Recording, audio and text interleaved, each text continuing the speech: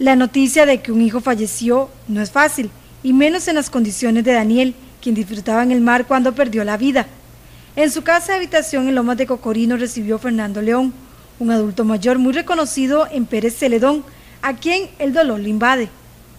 Uno de los comiches, como el mismo don Fernando lo dijo, era un joven emprendedor y de quien, asegura, aprendió mucho. La humildad de su hijo, afirma, es uno de sus mayores enseñanzas y eso, ni qué decir de su comportamiento, el cual era ejemplar. Dani era un muchacho muy especial. Nunca respondió a alguna llamada de atención que se le hacía, sino que lo que hacía era bajaba su cabeza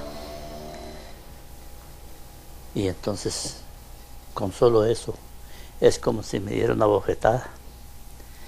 Cuando yo vi aquel caso de humildad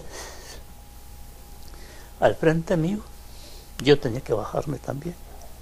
Y pasaba y le decía, le, palmeteaba la, la espaldita. Y pasaba y se sonreía conmigo. La noticia de su muerte llega a esta familia, donde hace poco más de seis meses pasaron por la pérdida de otro de sus hijos. Yo vi a, a Leonardo 12 años batallando. Recuerdo sus últimas palabras, papi, cómo deseara poderle hablar. Y nunca me dijo nada más. Esas palabras se me clavaron tan hondo como las de Daniel. Un día que le dije, qué orgulloso me siento de usted, qué papi más piropero. Y el día que ya los últimos días que ya él salía para hacer sus vueltas, todos los días me se asomó yo de a aquel lado. Hasta luego, papi. Hasta luego, mi chiquito. Pasaba y no podía irse sin antes recibir la santiguación de la madre. La madre pasaba que lo santiguara, le daba un beso y ella a él para salir para el trabajo. En redes sociales como Facebook, los comentarios e imágenes de Daniel circulan por todo lado donde todas las personas que lo quieren lo recuerdan con mucho cariño. En tres palabras, se los agradezco.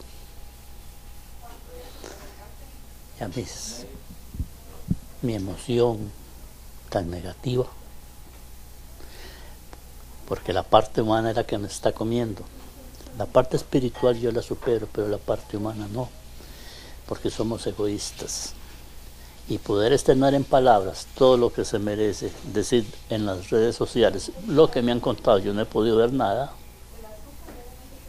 habría que escribir todo un acervo de frases que tal vez no podría decirles todo lo que sentimos por ese por esas muestras de aprecio y cariño que sienten hacia la familia.